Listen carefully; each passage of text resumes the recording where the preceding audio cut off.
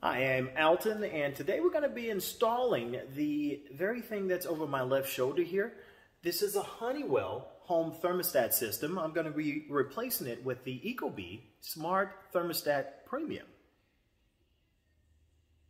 So first things first, when replacing your home thermostat for your HVAC system, uh, you want to cut the power to it. So you can go out to the garage, wherever your breaker box may be, or breaker panel, you can go there to cut the power to the source. Now, in my regard, I did not have to go there. I can go there to eliminate my whole HVAC system, or I can simply, I had to go up under the house to cut the power here. So once I've cut the power, I can go ahead and to remove, and there again, this is a Honeywell. So to remove the panel, all I gotta do, you can see there's a, well, you can see, but there's a, a little panel that pops right onto the portion connected to the wall. So I can go right where you see the split there and just twist. And this is just a flathead, small flathead. Uh, once I go and I twist, as you can see, I can simply twist and this front part pops off. Now, you've got a couple of rods there that go into there. So, and I'll explain that a little bit later, but um, yeah, so this pops right off, no other connections, no wires to detach, anything of that nature. Once you have that off, you're gonna see your wires here. Now, right along the bottom, you can see a couple of letters here. No, that is not the alphabet for you to teach your kids. That is simply to let you know where the wires go. So on the wiring, once you take the face cover off, you will expose your wiring. On your wiring, you have the blue, which is connected to C. That is just one that completes the circuit. You have your red, which is going to be power. Now that is connected to R. That also can be connected to RC as well, but in this regard, it is connected to R, which is power. When you roll over as well, You've got your white wire, which is going to be your heating. And of course, with your heating, you do have uh, it connected to W. Your yellow wire is going to be for your air conditioner. That's going to be connected to your Y. And then, of course, your green wire is going to be connected to your G. The green wire is for your fan. So that is all your connections. You've got your letters on the bottom. And, of course, you've got your wires, which will connect to those letters on the bottom, which tells you what to do as well. And each one is for something such as I mentioned, which is for the circuit of the vehicle, uh, of the, uh, not vehicle, but the HVAC system here, you would be C in blue, and then power, you would be red and R, and then of course you've got the green and the white and the yellow, as I mentioned before. So a couple items we're going to use that you will have to furnish yourself. One is just going to be a small flathead screwdriver. And the other one, I have a smaller handheld screwdriver here. And then along the bottom, I am going to use a Phillips rather than a flathead, but I can use either or. So I think the smaller one here is going to be the one. I'll go ahead and switch that out. But all you need is two flathead screwdrivers, or you can get away with a Phillips, or you can do the flathead there again. That's all you need is just two screwdrivers. As you can see, this one's a little bit smaller, so I wouldn't be able to get the larger one in there. And then, of course, I could use either or on the larger screws there. So we'll go ahead proceed with removing that. So once I'm here, I can remove each one of my wires. And the thing that I would encourage you to do as well is take a picture of this exactly like it is. So if you forget which wire goes where, you can come back, you've got a picture of it, and you can refer to that picture to make sure you get the wires back in their proper placement with the letters. So now that I have the power completely turned off, all I'm going to do is just go ahead and, and you don't have to release these completely. You can just turn them enough to just release the wire itself. And as you can see, just going to continue to spin here. And let's just make sure this is disconnected.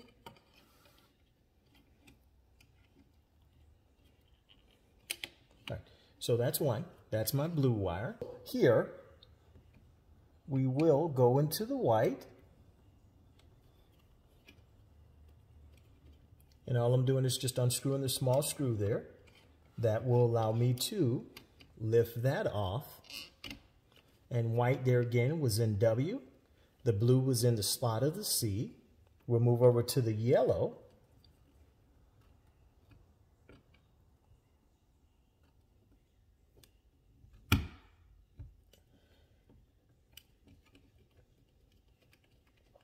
and the yellow was in the slot of the Y. Gosh, it almost feels like I'm in grade school. Right.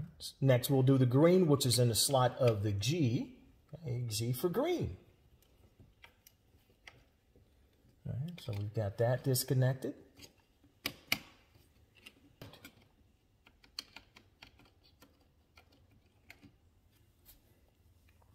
And that is definitely an R, now that I see that right up top there. So I did have to finagle that a little bit to get that out. That was in a little bit tighter, but now that one's removed as well. So the next thing I have to do is go in and with the two screws here, just go in and release to take the plate off the wall, and that's just going to leave my wiring exposed.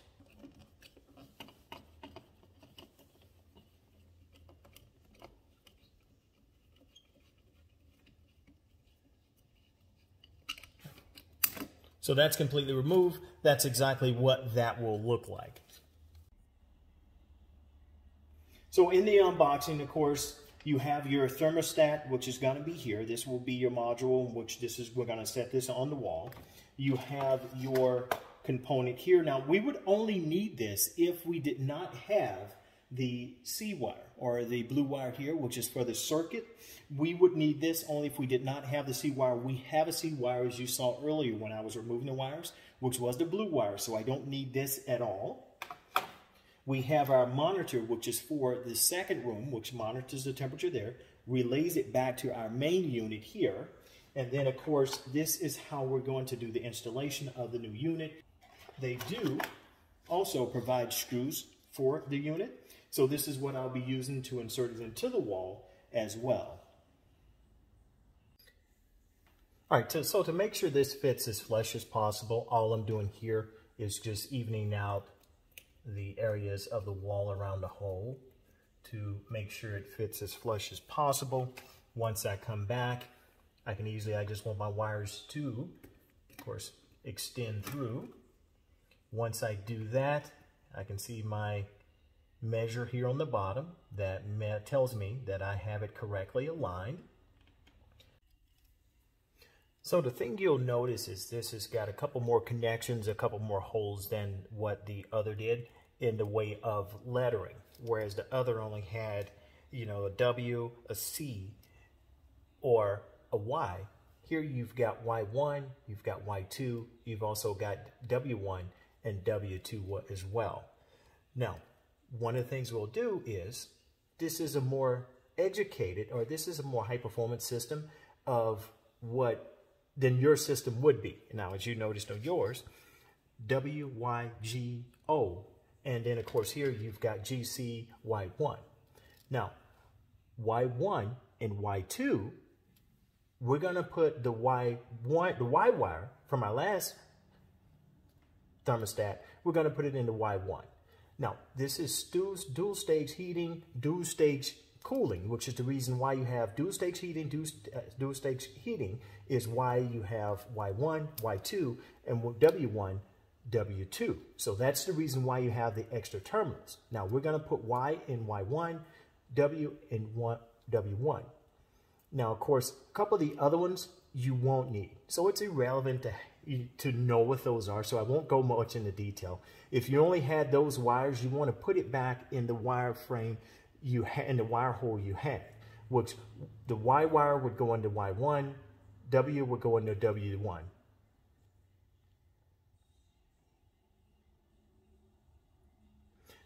RH is going to be your power wire for your boiling system. Notice we don't have an R here, we have an RC. So we're going to connect the R wire directly into the RC there. So we'll put R in the RC simply because we don't have an R here.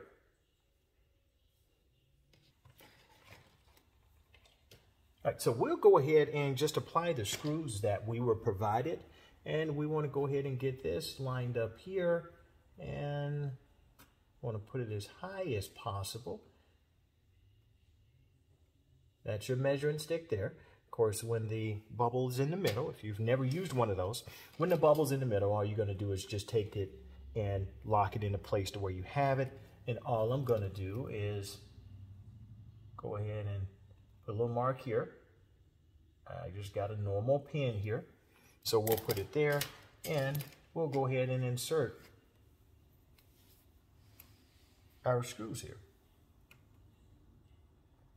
I want to move it over a little bit more, so I'll go ahead and make the initial hole with the screw itself.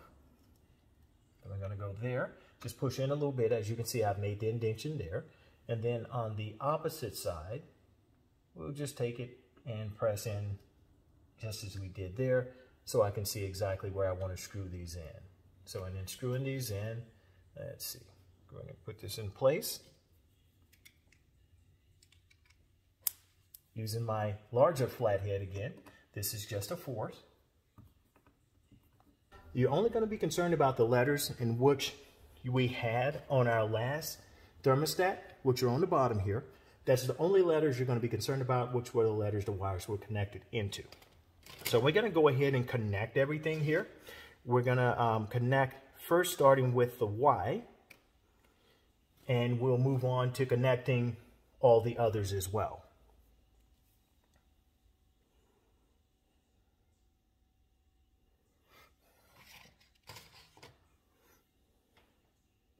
So the Y wire, we're going to connect into Y1.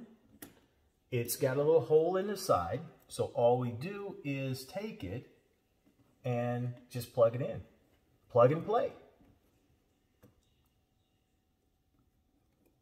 And of course, you may need to maneuver things, bend wires, all things of that nature. So don't be alarmed. And you're just going to take it and plug it into the hole, as you can see here. Now, once you plug it in, you'll notice the tab here goes downward. So it folds into place to connect the wire. So now if I try to pull the wire out, it's connected in. To unattach, I can just take it and lift up. So that's the Y wire, which is going to be our yellow wire. Now the white wire, we're going to take and we're going to go ahead and move, put it into W here.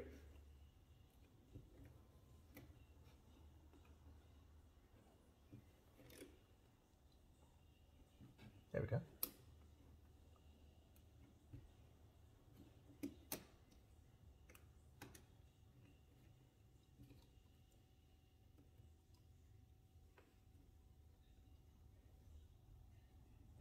Now, the wire will automatically, or the tab will automatically go down, which shows you it's locked into place.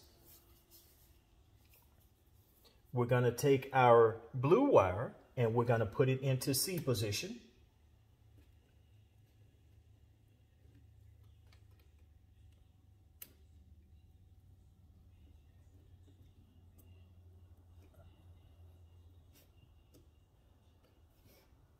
So that's engaged.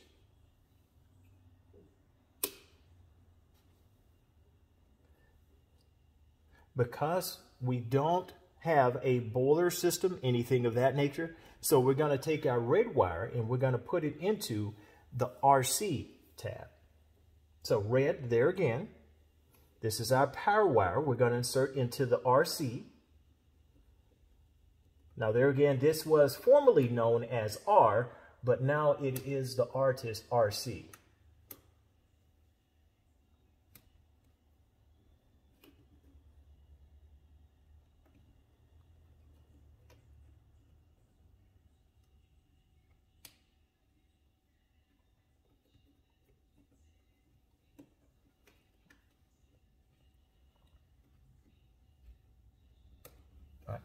So we've got our red, which we're going to put into RC. And of course our G wire, which is our green wire here, we're going to take that and we're going to put that into G.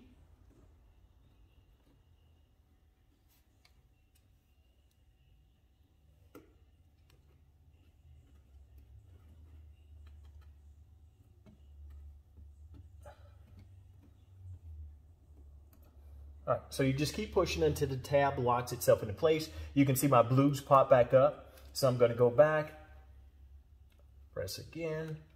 All right, so now we're in. R's in, so everything's in, everything's down. And you can actually just pull the tab here, just kind of flip it a bit to make sure that's locked into place. As you can see, everything's in place. And so we've got our R, we've got our W, we've got our G, our C, and our Y all in place. And everything else here, you can just take and push back into the wall. And of course, you want your speaker on the bottom side. So it's right side up. So speaker is going to be at the very top. You can see your four tabs here. And all you're going to, you have the four tab insert or the clips there. And all you're going to do is just take it and apply this or put this directly onto the mount. Just make sure your pins are going directly into your pin hole. So we're just to take and apply and press.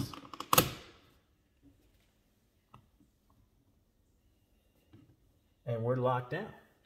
So the next thing we'll do now is go down and apply the switch. Mine is in my crawl space. So we'll go down and apply this uh, switch to turn the uh, HVAC system back on. And then, of course, this will light up and we'll go ahead and get everything connected.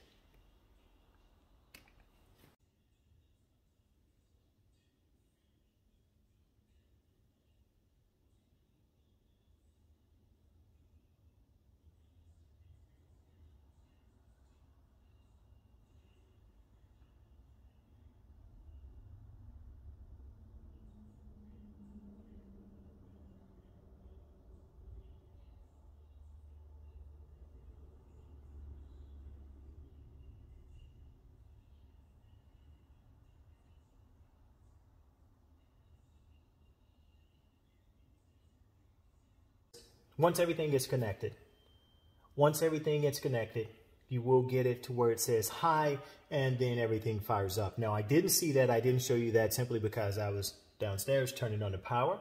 So hi there, we'll guide you through the setup process. Let's get started. And the only thing you're gonna do there is just tap and it asks, are we a homeowner or Eco Pro? We're homeowner, so we're gonna go next. We've detected a wire connected to the RC terminal not RH terminal. Is this correct? Of course, yes, it is.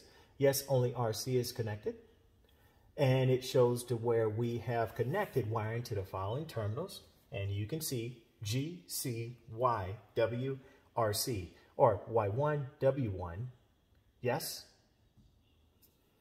We do not have humidifier, dehumidifier, dehumidifier, or ventilator installed. So yes, no accessories installed. We want Fahrenheit instead of Celsius, and you can change it. This is a touchscreen, so you can change that at any time. What type heating do we have in our home? Furnace, so we're going to go next. How would you like your fan to be controlled? By fan or thermostat, we're going to click thermostat, of course. So, of course, this gives you an opportunity to name your Ecobee. So what we'll do is go in and we are going to name it my Ecobee. Time to pair your Ecobee smart sensor. So what we're going to do now is pair it. We're going to pair it to the phone. We're also going to connect it to our smart sensor as well. So we're going to go ahead and set that up. We're going to pair smart sensor. Your smart sensor will keep important rooms comfortable by adjusting your thermostat based on the occupancy and temperature. And of course, on the bottom, if you want to skip pairing, you can do so by simply skipping pairing. So we want to go ahead and get this connected. And in getting it connected, you can see the tab there on the back. Just to see what's in here. So we're just going to pluck this off. And I would not be surprised if that is a battery. Yep, that's just a battery which is more or less the same size battery you use in your car key or your vehicle remote start or your vehicle remote key fob for your car. So what we're going to do, we're going to pull. So by pulling, now we've just engaged the power to our smart sensor here. We're going to go ahead and pair smart sensor. We've activated by pulling the tab.